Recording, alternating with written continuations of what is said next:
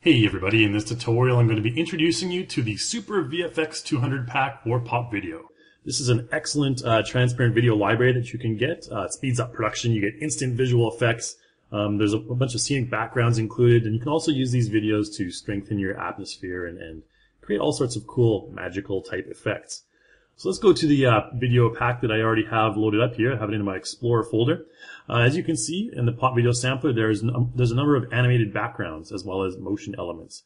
Let's go take a look at the animated backgrounds first. And you can see there's animated backgrounds for fire. Uh, there's landscape ones.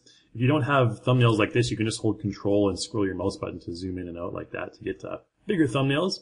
So these are beautiful uh, landscapes. Let's go ahead and add a couple of these in first. Uh, the sunset one is a, a nice one I like to uh, use.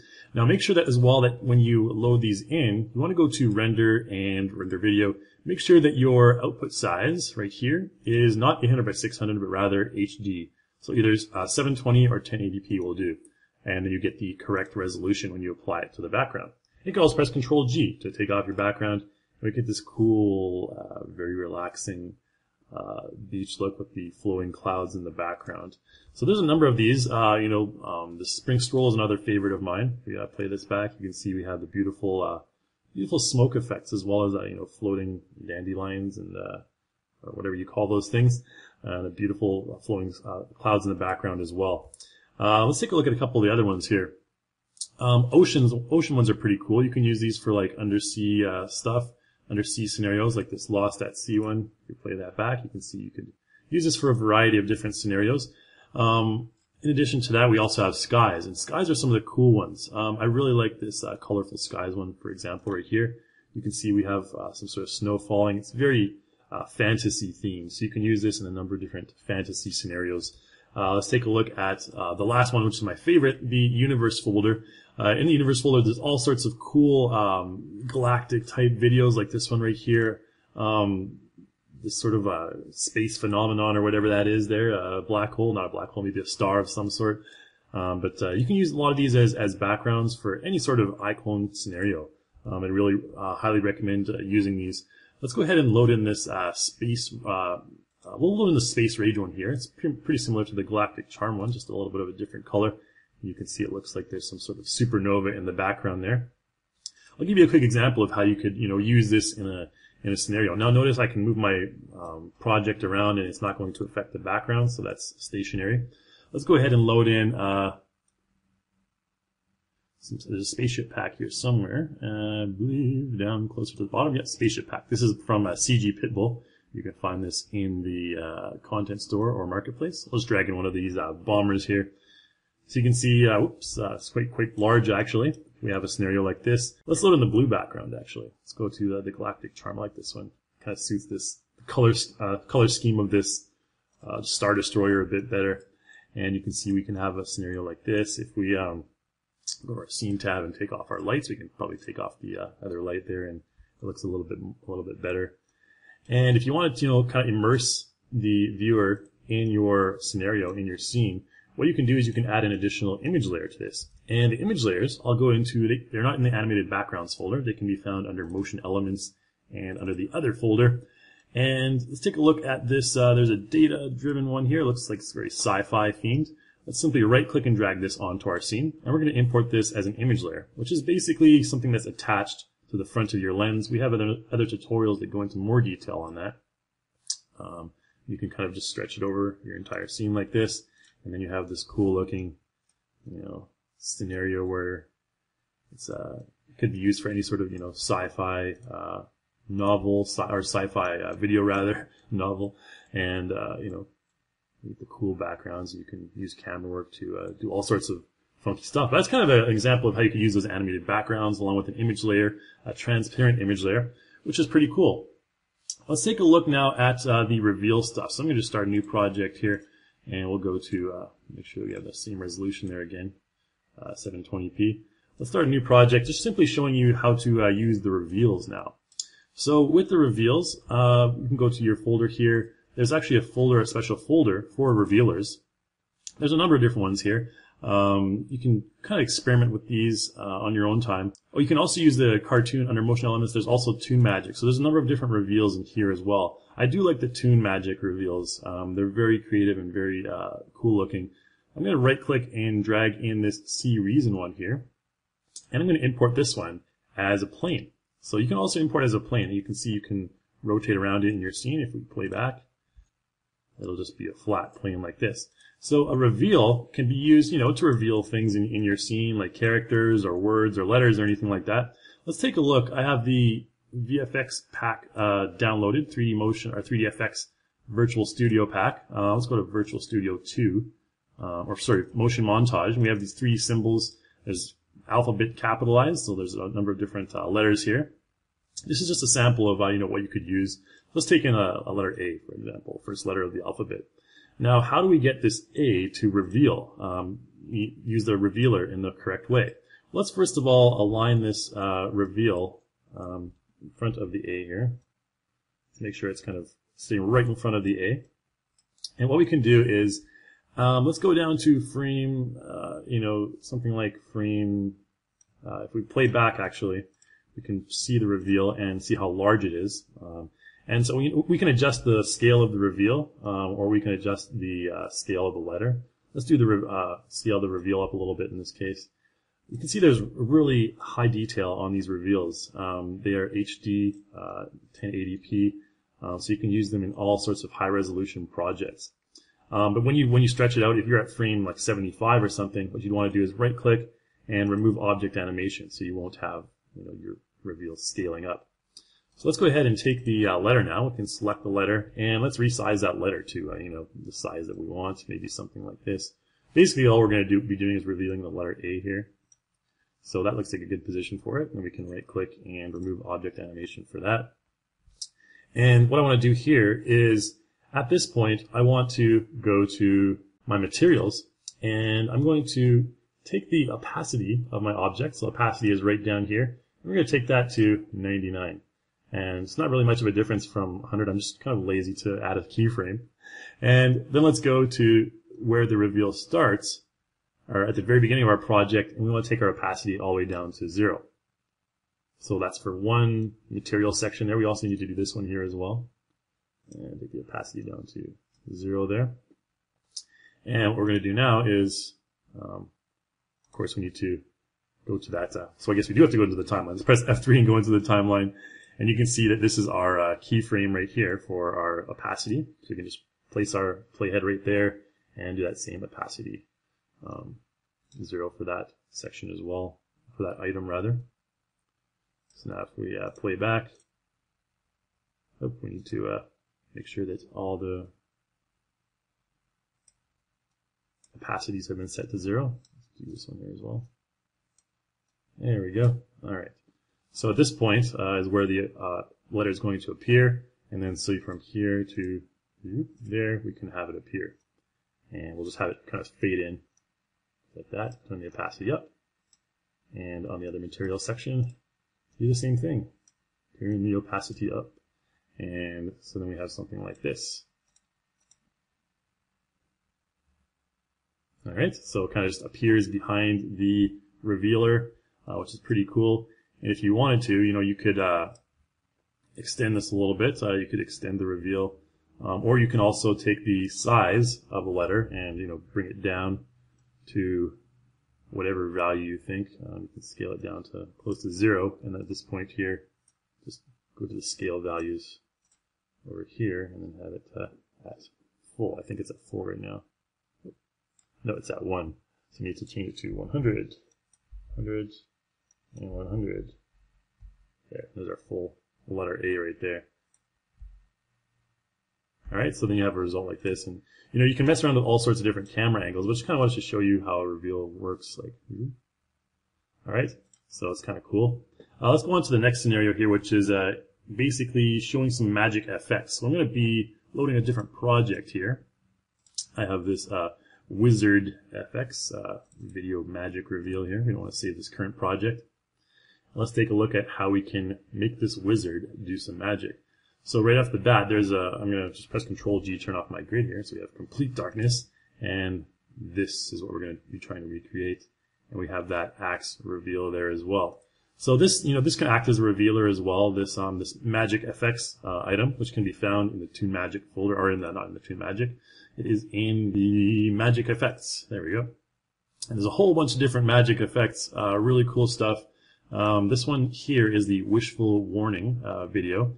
Now I have that uh, axe at the end, kind of just revealing itself and glowing right there with a glow map.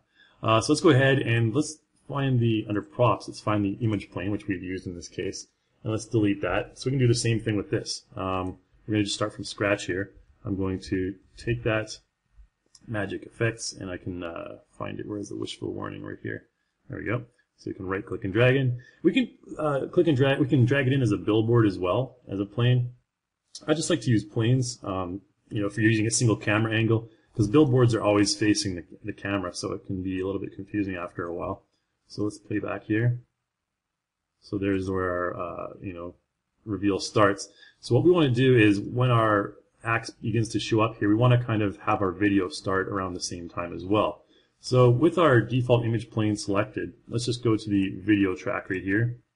And what we want to do is we want to move the beginning of the video. So just simply take this clip and move it a little bit forward just like that. And uh, Okay, so he's kind of you know, doing his magic right there, maybe a little bit further back. And we probably want to adjust the position a little bit as well. Yeah, I think we want to scale it a little bit larger. There you go. And maybe move it over a little bit over here.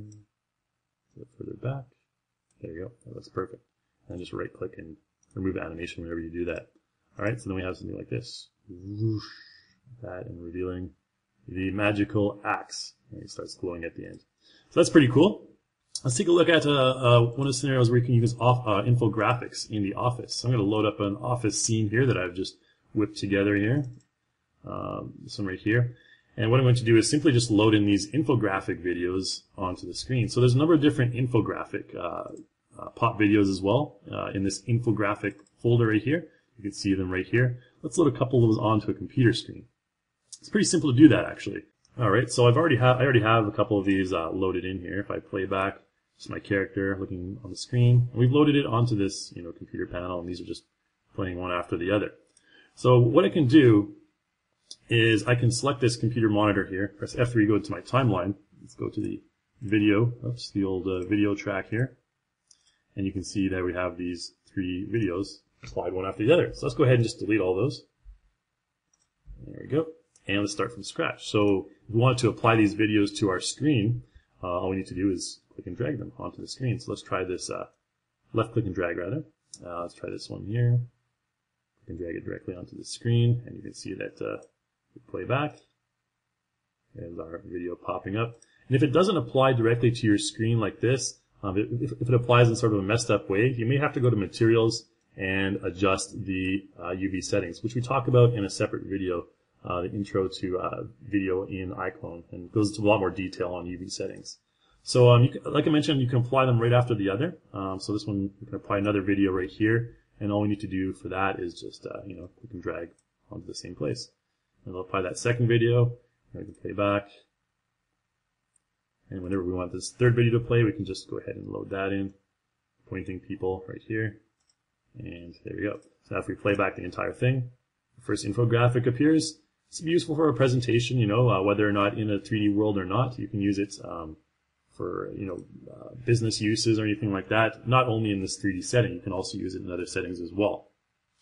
Let's take a look at one final example here, and I'm going to load in a different project here. Video Fire. So this is how you can use some of the transparent videos in really uh, awesome and uh, interesting ways. Uh, especially the fire and smoke ones here. We're going to focus on those now. So under motion elements, there's fire and smoke right here. A whole bunch of different, um, really cool looking uh, videos. Uh, explosions and smoke can be used for various scenarios. Um, I do like a lot of the fire ones. They can be used in a lot of different ways. Um, and the smoke can be used for, you know, very uh, eerie kind of situations. Let's take a look at how we can add this flame onto our scene once this project loads up here. There you go. So believe it or not, this uh, is actually a light tool that you can find under your props, under uh, light tool somewhere. There you go, light tool. This is the torch that's found right here.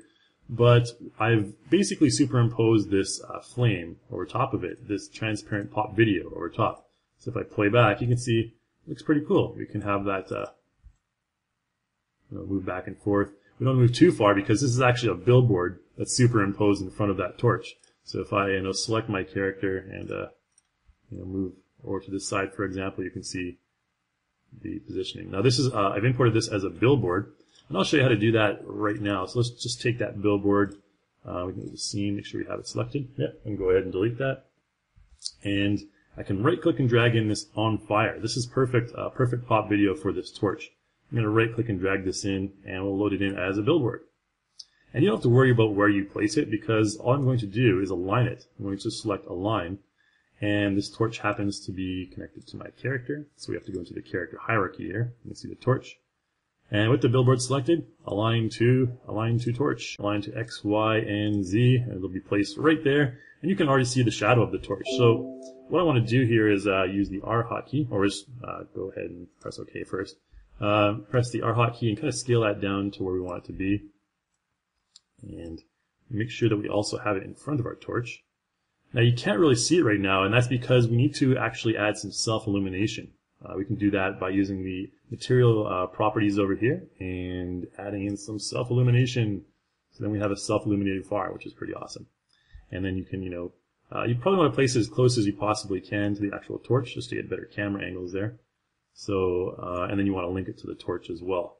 So we can go to select link, pick parent, and let's pick that uh, torch in the scene hierarchy there.